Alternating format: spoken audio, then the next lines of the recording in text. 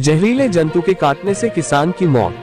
सावर थाना क्षेत्र के चितिवास गाँव में शुक्रवार को खेत पर कृषि कार्य के दौरान किसी जहरीले जंतु के काटने से किसान की मौत हो गई। सावर पुलिस ने पोस्टमार्टम कराकर शव परिजनों को सुपुर्द कर दिया है।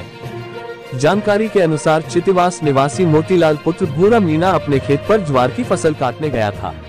कृषि कार्य के दौरान संभवतः किसी जहरीले जंतु के काटने से वह खेत पर बेहोश हो गया।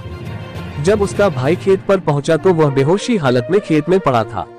आसपास के लोगों की मदद से उसके भाई ने, मोतीलाल मीना को सावर के राजकीय अस्पताल पहुँचाया जहाँ पर डॉक्टरों ने मृत घोषित कर दिया।